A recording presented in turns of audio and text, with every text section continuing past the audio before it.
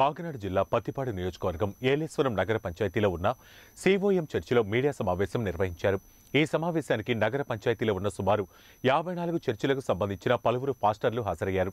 ఈ సందర్భంగా పాస్టర్లు bishop Joseph Andrews AVV Prasad Reddy Anandapal మాట్లాడుతూ రాష్ట్రంలో ముఖ్యమంత్రి జగన్మోహన్ రెడ్డి క్రిస్టియన్ మైనార్టీ వర్గాల వారికి అనేక కార్యక్రమాలు అమలు చేస్తున్న పతిపాడు నియోజకవర్గంలో మాత్రం ఎందుకు విరుద్ధంగా జరుగుతుందని వాపోయారు.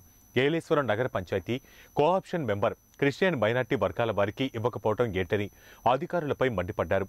తక్షణమే ప్రభుత్వం స్పందించాలని లేని పక్షంలో ఉద్యమం చేయడంతో పాటు న్యాయ పోరాటానికి సిద్ధంగా ఉన్నామని తెలిపారు. ఏలేశ్వరం నగర పంచాయతీలో క్రిస్టియన్ మైనార్టీ వర్గాల వారికి కమ్యూనిటీ హాల్ ఇప్పటికీ కూడా కేటాయించకపోవడం తమని అణగదొక్కే ప్రయత్నమే అని వాపోయారు. మరి అనేకమైన విలువలతో కూడిన రాజ్యాంగాన్ని మన పెద్దలు తయారు చేశారు. దాంట్లో ప్రతి మనిషికి మత స్వేచ్ఛ ఉంది. కానీ దురదృష్టం ఏంటంటే క్రైస్తవ మతం ఈ భారతదేశంలో ఎవరన్నా తీసుకున్నట్లయితే వారిని అణగదొక్కే ప్రయత్నమే జరుగుతోంది కాబట్టి మనది లౌకిక రాజ్యం కనుక దయచేసి మరి ఎవరికి తోచిన మతం వారు తీసుకుంటే అభ్యంతరం చెప్పకుండా ఉండాలని మీడియా ద్వారా మనవి చేస్తూ ఉన్నాం. మరి ముఖ్యంగా దళిత క్రైస్తవులు అని ఒక ముద్ర వేసి మరి ఎవరైతే దళితులు క్రైస్తవ మతం తీసుకున్నారో వాళ్ళకి ఎస్సీ హోదాను రద్దు చేసి మరి దాన్ని ఆధారం చేసుకుని వాళ్ళ మీద దాడులు చేసే కార్యక్రమం కూడా జరుగుతుంది.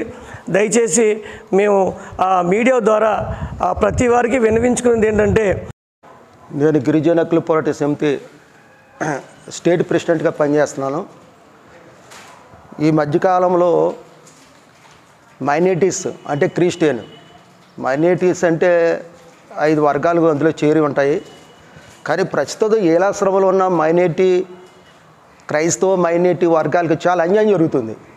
ఎంత అన్యాయం అంటే మున్సిపాలిటీ నగరం మున్సిపాలిటీలో కోఆక్షన్ నెంబర్ ఇవ్వాల్సి ఉండగా వేరే వర్గాలకు ఇచ్చి క్రైస్తవులు మోసం చేశారు. అదే నలభై సంవత్సరాలు పట్టించి ఈ యొక్క మైనార్టీ వర్గాలను అను అణిచివేతకు గురవుతున్నారు.